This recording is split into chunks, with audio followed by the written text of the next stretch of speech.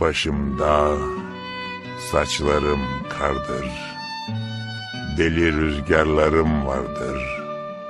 Ovalar bana çok dardır.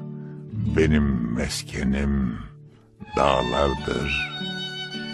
Şehirler bana bir tuzak, insan sohbetleri yasak. Uzak olun benden uzak, benim meskenim dağlardır.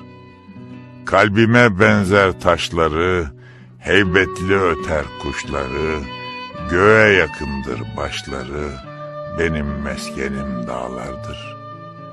Yarimi ellere verin, sevdamı yerlere verin, yerleri bana gönderin, benim meskenim dağlardır.